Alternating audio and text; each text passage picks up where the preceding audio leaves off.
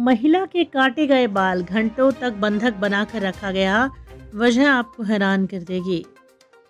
महिला का आरोप था कि उसके बेटे के साथ गाँव की एक लड़की फरार हो गई। दोस्तों, लड़की के फरार होने के बाद माँ को दी गई बड़ी सजा।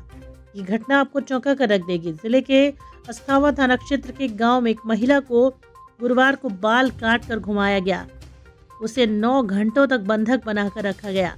क्या था उस महिला का गुनाह चलिए जानेंगे। उससे पहले वीडियो को लाइक करें शेयर करें और कमेंट ज़रूर करें।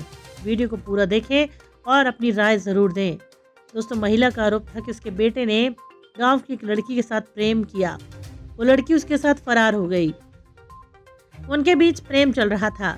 लड़की पक्ष को ये बात इतनी बुरी लगी कि उन लोगों ने दबंगई दिखाते हुए लड़के के गायब हो जाने के एवज में लड़के की माँ को उसके घर से उठा लिया और अपने घर पर नौ घंटों तक बंधक बनाकर रखा।